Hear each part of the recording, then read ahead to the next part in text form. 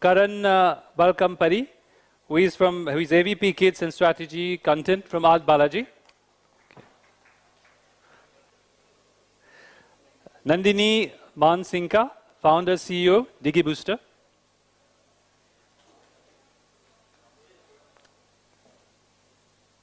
Welcome. Vivek Bhutyani, CEO of Lattu Kids. Welcome, Vivek.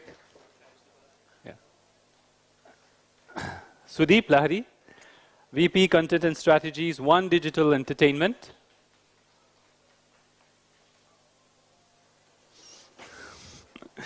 and uh, Bharat uh, Laxmipati, Vice President, Global Content Sales and Distribution Business, Green Gold Animation.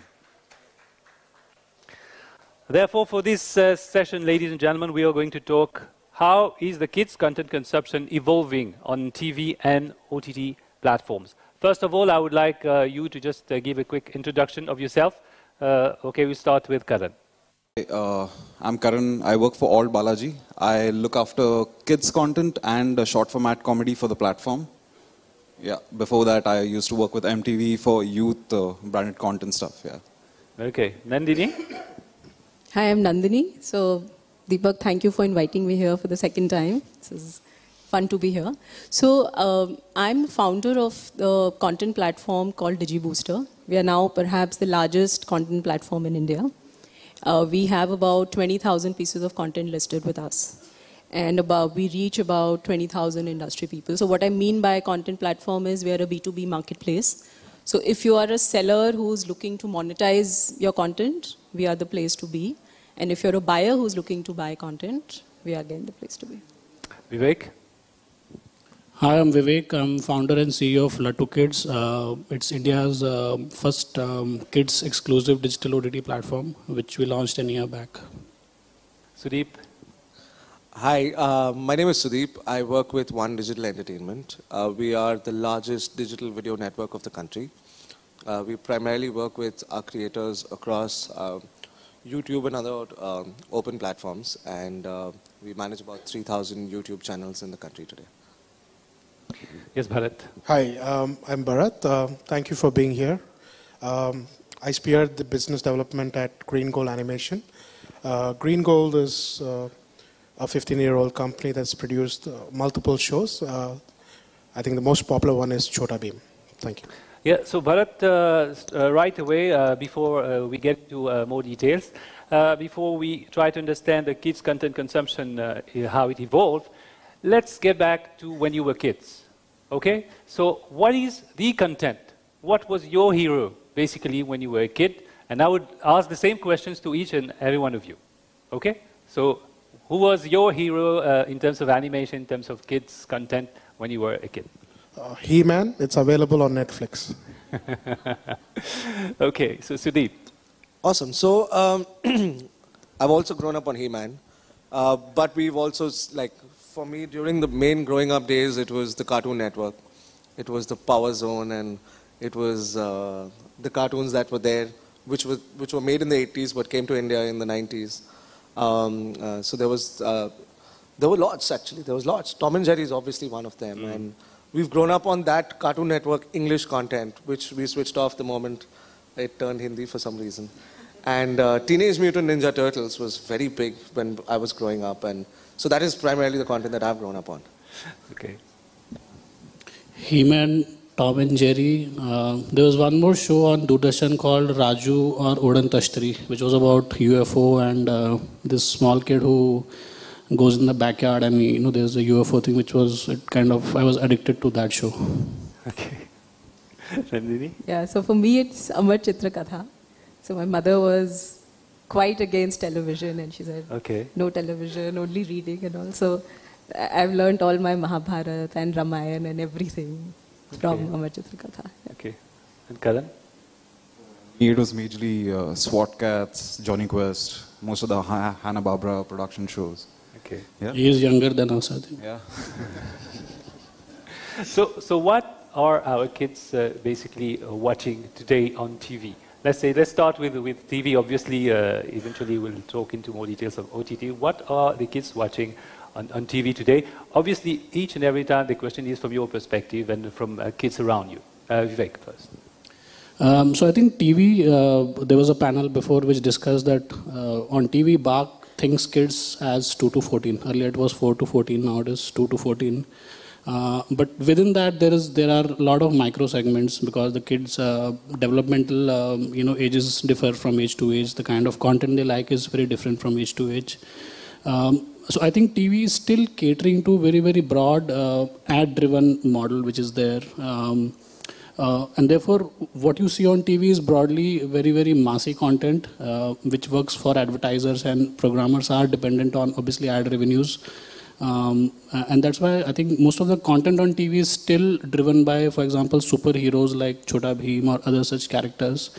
Uh, but you don't see diversity of content on TV. Um, and I don't see that coming soon because it's broadly dependent on money from advertisers.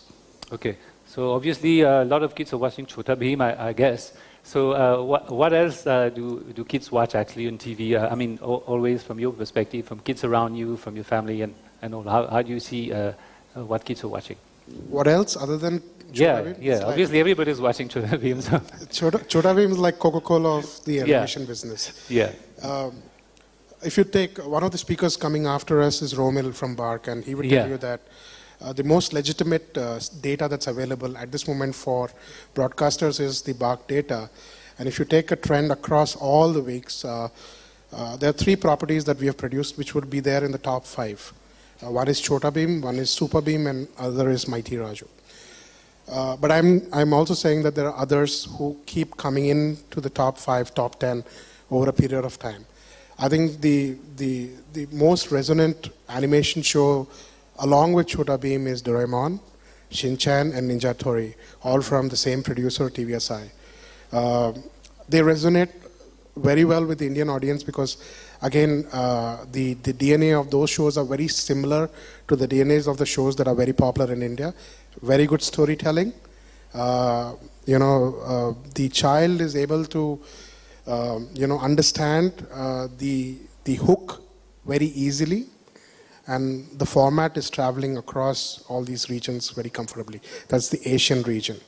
So these are the reasons why those programs, along with the programs that we have produced, are always the top five, top six of this country on linear television. Mm-hmm.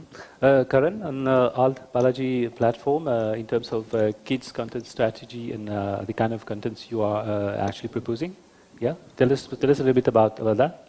Uh, about Alt Balaji, uh, if you've known, we uh, our major focus is creating uh, the original shows, the Ekta Kapoor shows that we're doing. Uh, but we as a team, as as I work for the content strategy team, uh, our lookout is to do something experimental which doesn't fall under Forte. Uh, so we, uh, as uh, as a part of my job, is to look after kids and short format content. So kids, may, basically, because we have a lot of subscribers from India, from outside India, a lot of regional uh, areas, because our content is very massy. So we have a South Indian audience, we have uh, a North Indian audience as well. So uh, when I'm doing kids content, we, we don't have a lot of kids content on our platform. We, we've created some original shows and we've acquired some. Uh, even in the original shows, uh, we've dubbed our, all our content in Bengali, in, uh, in Telugu, in Tamil, in uh, Hindi and English. So we are trying to create content which cater to all the masses of India, rather than just at being Hindi or English right now. Uh, so that's what our plan is. Right now we're doing very short format content for kids in the original space. We, of course, we've acquired Little Krishna, Shaktiman, and uh, the other stuff. Uh, but we are also looking to experiment with some animation, uh, with some grown-up animation right now. So uh, yeah, that's what Alt is doing. Okay, so, so Nandini, beyond the uh, TV uh, uh, you know, platform, uh, basically, how is the consumption of kids you know, growing?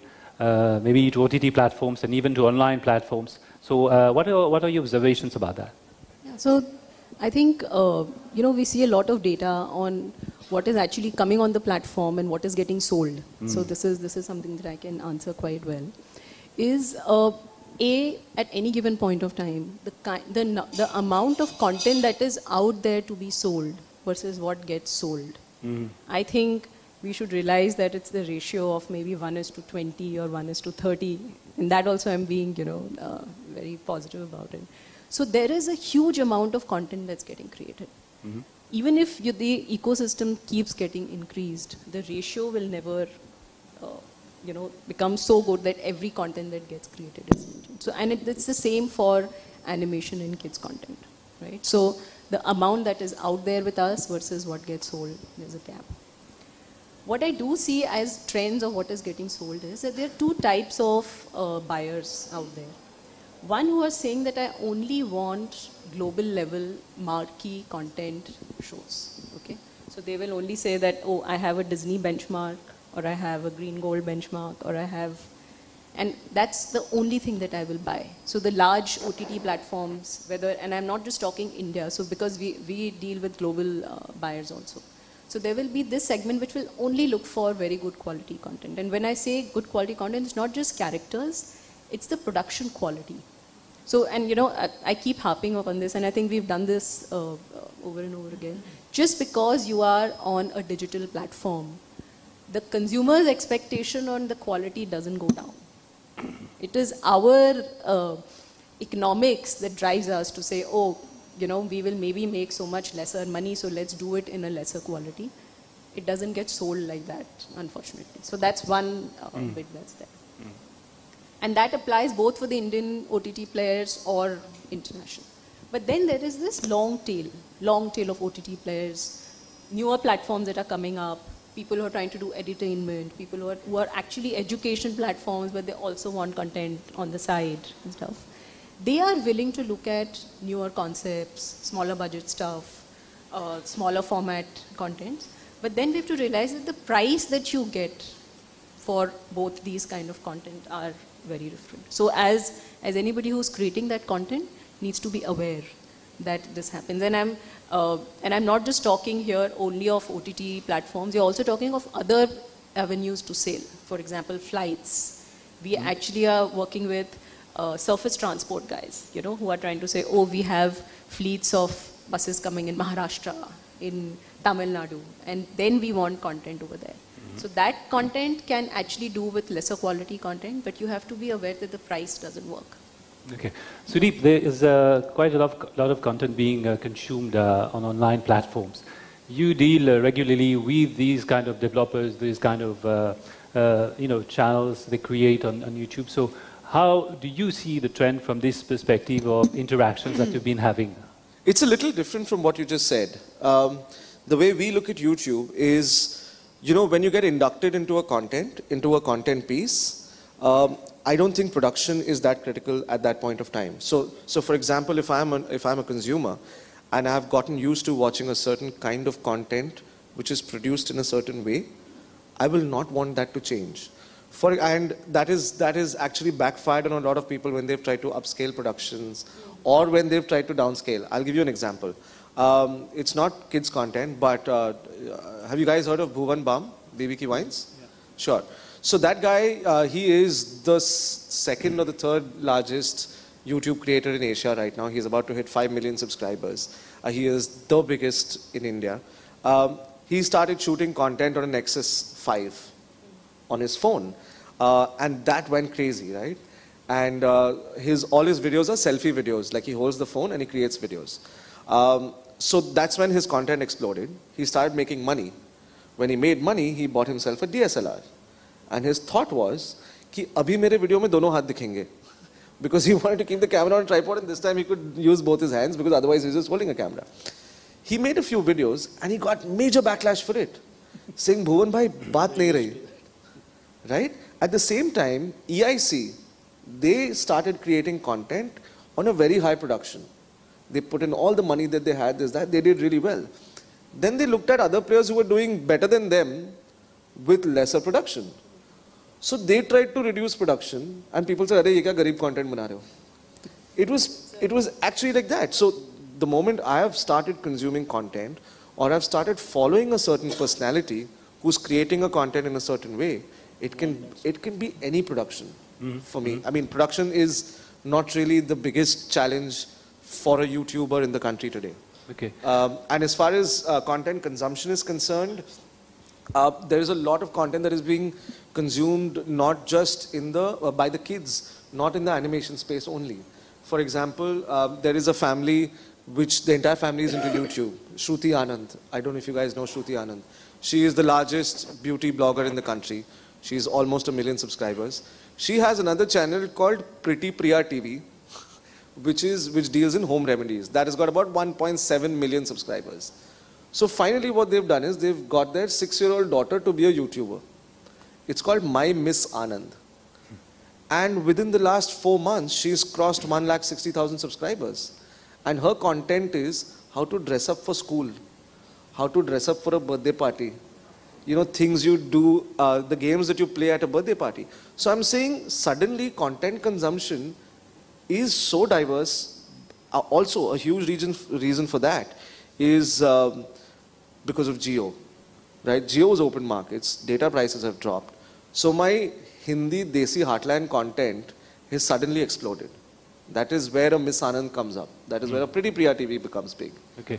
So, Bharat, uh, with uh, all these... I would have to just add yes, to... Yes, so, please. basically, I think Sudeep has raised a good point. So, I think what matters more, therefore, is the relevancy of content than the quality. Um, and coming, I mean, bringing that to kids' context, Peppa Pig is a 2D content, but it's obviously a billion-dollar property globally. So, kids don't see characters as 2D or 3D, and this is something that was a revelation because when I entered the industry, they were like, boss, 3D में content banao, तभी चलेगा. That's the trend. The kids don't care. They care if the character and the story is good. That's what matters. And there's another question that I often get asked because I run a platform and people ask कि आपके पास कितना घंटा है content का? Like बहुत अच्छा question है.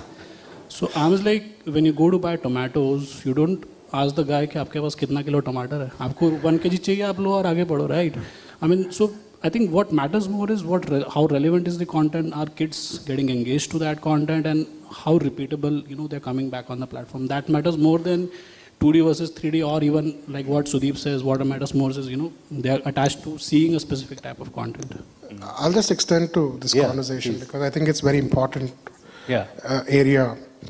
Uh, this, have you watched uh, the McDonald's story, the movie, The Founders? The, the business model there was that don't perceive McDonald's as a burger making business. It's a real estate business. I think this analogy applies to content creation also. If you approach content creation purely from a content point of view, you're very limited in what you can sell. But if you spin it in a 360 degrees and look at a long tail business model, which has licensing, merchandising, theme parks, uh, events, which is all part of the same ecosystem that you're building at the content level, then this business is a billion dollar business. Uh, the example that Vivek suggested, Peppa Pig, which is a $1 billion IP, is not sitting because it made content sales of 1 billion.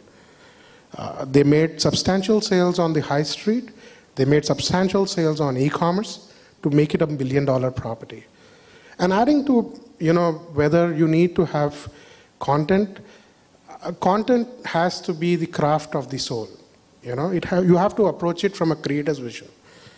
Now, a creator's vision should be of creating differentiated premium content, content that is very highly visual. I'm talking from a kid's perspective, content that has uh, that can be easily understandable by kids because they're catering from two to ten years, content that can easily travel the world in terms of uh, the different demographic sensitivities.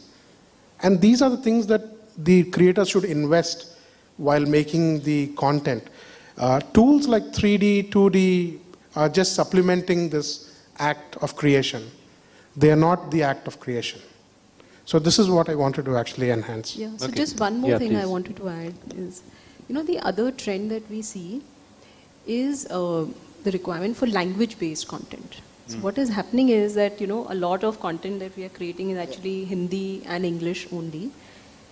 Whereas the requirement is saying, okay, what other languages do you have? Do you have, you know, kids content in Gujarati, in Marathi? Do you have those? So that's, that's one kind of layering that you see. Which is A, language based. Secondly, it's the kind of towns and cities that it's going. So the kind of content that gets, you know, consumed in a tier two, tier three city or in a, in a small uh, town, very different from what's getting done in Mumbai and Delhi. And we see that requirement. The third requirement is that even in a city in like Mumbai, the kind of content our kids will consume versus say what, what the auto driver's kid is consuming or what your home helps kid is consuming is very different. But today all of them have a smartphone. So the buyer is actually asking for that segregation from us. I have an interesting dichotomy to Yeah, the please. point that she raised. Um, we, we were producers of feature films. We have uh, produced four feature films. Uh, the second feature film that we produced after the most successful franchise, Curse of Damyaan, we thought to ourselves that we should do a multilingual. So we produced it in Hindi, which is the original language, and then we also released it in Telugu and Tamil. And I have data to prove that in almost all the inner cities where strong Telugu population exists, the Hindi release made more money than the local Telugu release. Because the kids, they watch the Hindi Chota Bheem on TV. For them, whether they understand or not, that's the language of understanding for them. Whether they understand the words or not, but that's what they resonate with. So, in the kids' world, see what you're talking from a broadcaster's world is very different from the actual kids' world. A broadcaster is an adult most of the times, and he makes decisions based on the requirements of the format that he has to adhere to. Where a kid's loyalty towards the brand is very pure. It, the, the sensibilities are very different there. So are we, so you're saying that the language is not, not a ah, No, requirement? I'm just presenting a dichotomy, a small deviation from the thought. What- what- But what, what, again, I'm backing it up by saying you're dealing with broadcasters, their perception is different, whereas on ground could be slightly different. How the consumption is. Correct. Yeah. Just to add to languages, so I think we need to understand that India is a multi, there are multiple uh, countries within the country. Now, look at a Gujarati family, while the parents converse with each other in Gujarati, probably with a newborn kid, they might be talking with him in English because they want him to learn English because English is still an aspirational language. So we tried to do this. Like on our platform we said let's dub content on hindi and tamil and we put it up there. Uh, we saw some traction but broadly still english was ruling. Despite as you said we went and uh, analyzed data in tamil nadu or these kind of states where regional is higher than hindi. Even there we realized that english consumption is much higher than hindi or regional. South has a more aspiration for English language than its own regional Tamil or Telugu. Uh, parents want the kids to watch English programs. Uh, it's a mindset in the South that, you know, if you watch English programs, your sensibilities or English improves. So that's a mindset which is across India now because even a Punjabi family would want their kid and they converse in English, you know, with the kid. So those are the things that one must kind of keep in mind when you are going into this domain of kids content. So, Karan, uh, uh, what what space uh, is uh, of uh, OTT platforms providing for like uh, kids content creators to, to, to you know broadcast their content to, to uh, make their content visible? Is there a strategy in this line? I mean, content creators, those, those who are actually creating, who want uh, a platform to, to broadcast it, are OTT platforms actually providing this opportunity? Uh, obviously, uh, OTT platforms have uh, created uh, good opportunities for a lot of production houses to uh, come up with ideas and all. But it's still, I mean, I, I would say the OTT space is still exploring. They don't have a particular rule as such because there's uh, there's no like I, I, there's no vast data available over the years of what has exactly worked in the OTT space. We're still depending a lot on how it works on TV.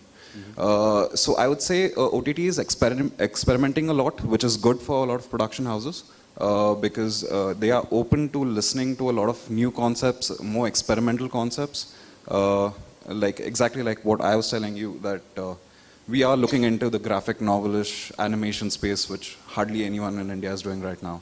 So maybe a few people like Graphic India and all are working around it. Uh, but uh, yeah, so it gives a lot of opportunities for uh, for big production houses to explore different kind of uh, animation style, different kind of uh, genre maybe uh, in kids. So yeah. Yeah. So Bharat Sudeep was uh, explaining about uh, all the happenings on uh, on online platforms, and uh, uh, we are also talking about uh, what was happening on the OTT platforms. How is all these happenings impacting in your strategy, or are you looking at you know collaboration, or what kind of interactions are you looking at with these OTT platforms or online platforms? You want to take this or should I? No, no, it's yeah. So I, I think it's an important question. Now, uh, it all boils down to who the first window is. Yeah. As a creator, if OTT comes in as the first window, then uh, we have to alter changes at the script level. Because mm-hmm. let's take an OTT philosophy. They are not looking at longevity of or the duration of the program that the kid is watching. Uh, their philosophy is probably linked to the point that how many times the viewer is clicking from one episode to another episode. And that's where the bait is, you know. Am I moving from episode A, part A, to part B and part C? So that means basically they're getting three clicks and the duration and the stickiness is there in the three episodes. Uh, whereas on linear is thinking, I build in a 22 minute episode, I have to package uh, eight minutes of advertising time, so that's my standard format. Whereas a linear is thinking, I don't have advertisers, especially the SVOD platforms like Amazon and Netflix. So how do I induce binge? So should I get in 11 minute format? So while it's very easy to say that um, it's the same thing chop, but in a story, where do we chop? Right? So it all starts from who is your first window. If the OTT comes in as a first window for original programming, then we as producers have to start believing that this is how we are going to create the program. And then a linear picks it up and then accepts it the way it is being presented at the OTT level. So this is a fundamental change as a producer. So uh, Vivek, uh, therefore, is it uh, uh difficult for uh, like uh, content creators to eventually find space for broadcasting through broadcast stations or broadcast platforms or even OTT platforms from the observation? Because OTT uh, platform is still yet to, to, to emerge as a, you know, uh, to, to, to, emerge really. So still, these represent a, an opportunity besides TV platforms. So how can content creators uh, uh maximize or optimize these opportunities? So I think I'll uh, continue where Bharat uh, stopped. Um, we acquire a lot of content from international studios and uh, last week i was at uh, bangalore they had a karnataka avgc summit where uh, indian original ip creators came to present their ips and i was blown away it changed my mindset that india has original ips which are yet to be kind of put on the global platform.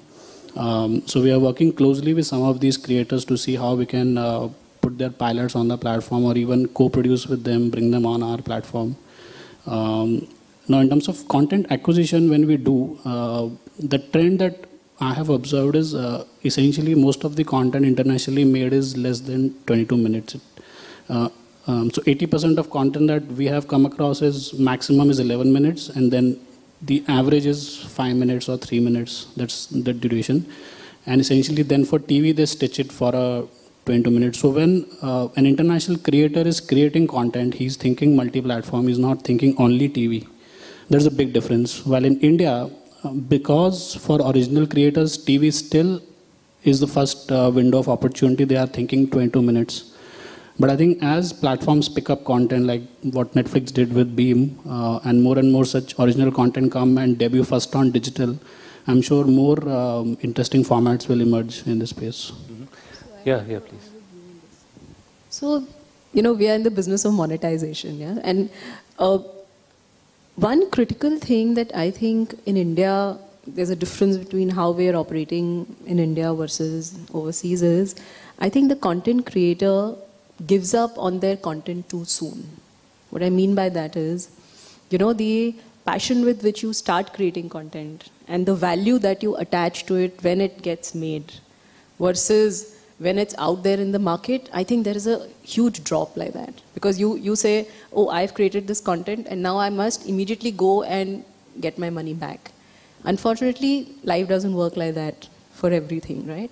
you have to be out there with your library continuously over and over again, you know. So, which means that how many times, so if you actually see overseas, if you go to, you know, international markets, you'll find people are pushing their same library for three years, four years, because they, they are behind it.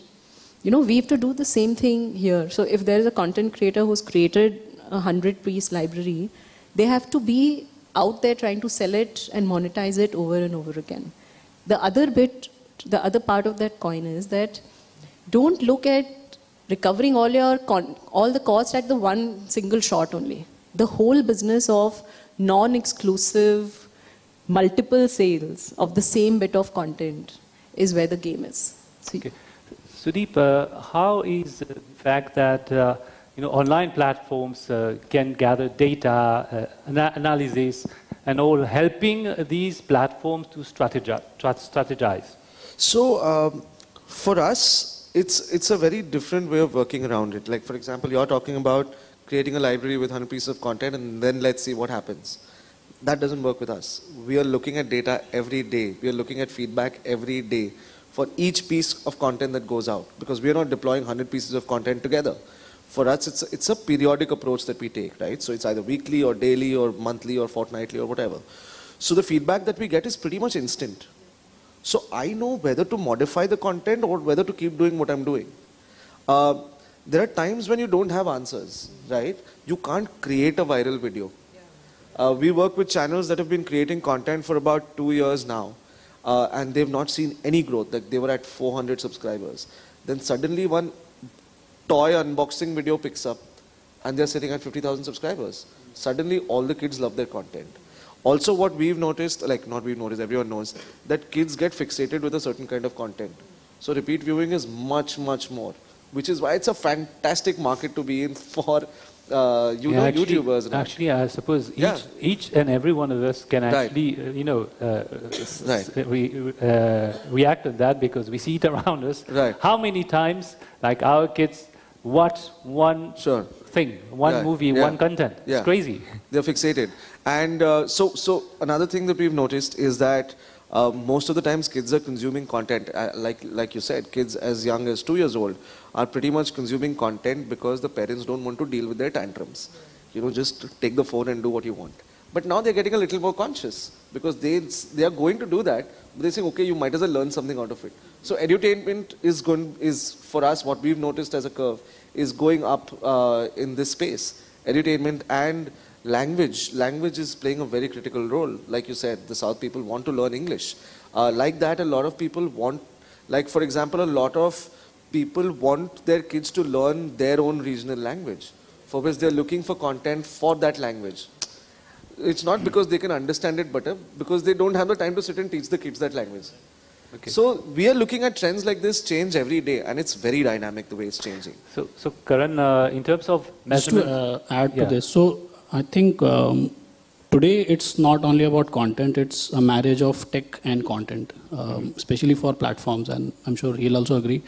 Um, so we use a lot of analytics on a daily basis, as you said. We know whether a content we have acquired has worked or not and there are times that we are kind of you know blown away by our own assumption that we what we thought was wrong i'll give you some statistics um, when we launched we thought that um, kids will watch content more on tablets because it's a bigger device and all. But today uh, on the platform 93 94% consumption is always on mobile devices which means the kid is sharing the device from the mom or dad. So it has a lot of ramifications on how you push the content to the kid. Like how are you um, showing the content in terms of the UI, the UX, because understand it's a very, very conflicting environment. The kid is taking the device from the mom. The mom also wants to make phone calls on the same device. You know, something is happening. So in that lot of frenzy, the kid is watching that content. The mom wants to take the content back.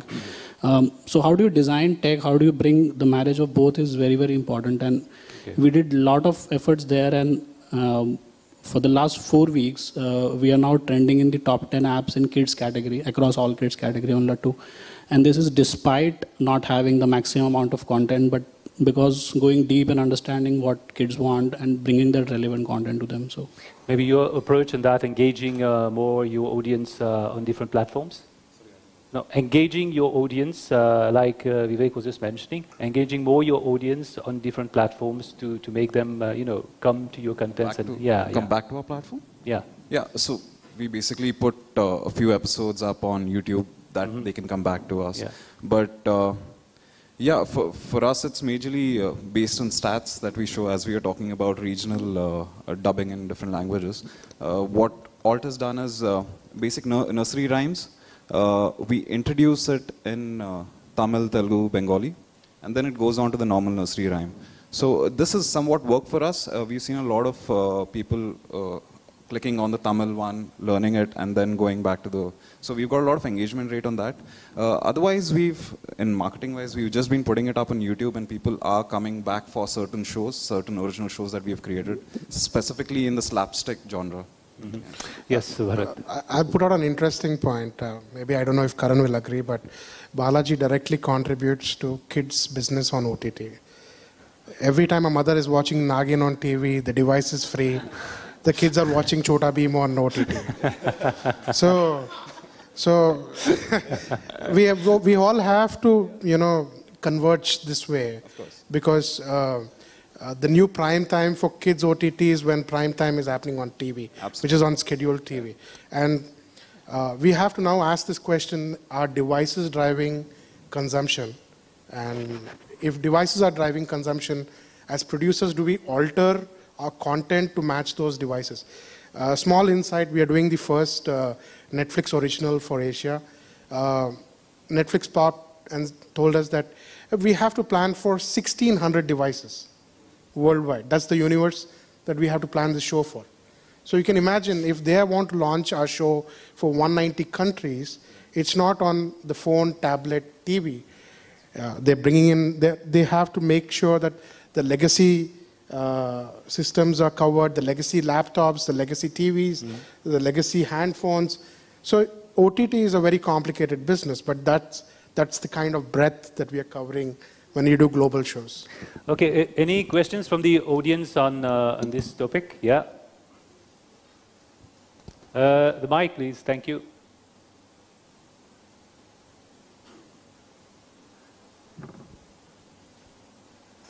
Yes, on this side, yeah.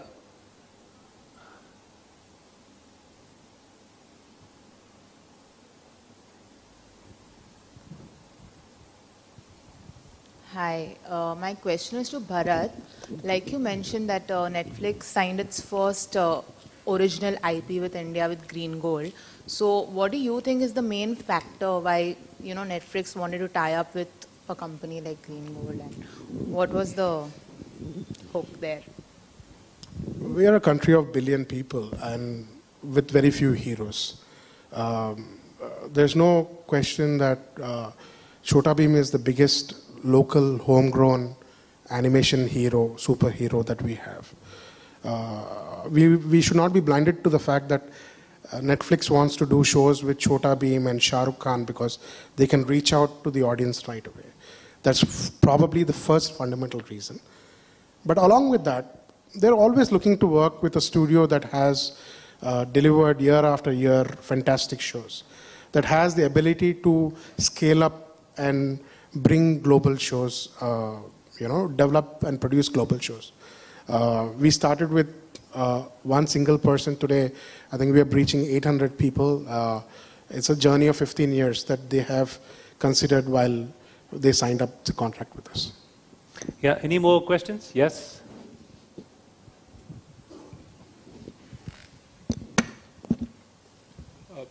Hi. Uh, so the Indian content business generally is in a very interesting space right now where uh, platforms and business models are evolving. At the same time, our culture is evolving. So compared to, let's say, more evolved market in the West where you know, storytelling formats and what works and in fact, uh, even global IPs are more established and then models are catching up. Here it's kind of happening at the same time. Uh, so in that transition period, let's say the next three to five years, um, you know, what sort of, I'll come back to actually making the content, what sort of production models or creation models do the whole panel see emerging? Because I don't think there's enough like deal flow yet where a broadcaster will put up like a certain amount of money or, you know, even there are, uh, the production companies might not be able to foot that sort of thing that's needed to create a global IP right from the get-go. But in that interim, I think some interesting models might emerge, so I want to understand what those could be. As a production house, can I take this question?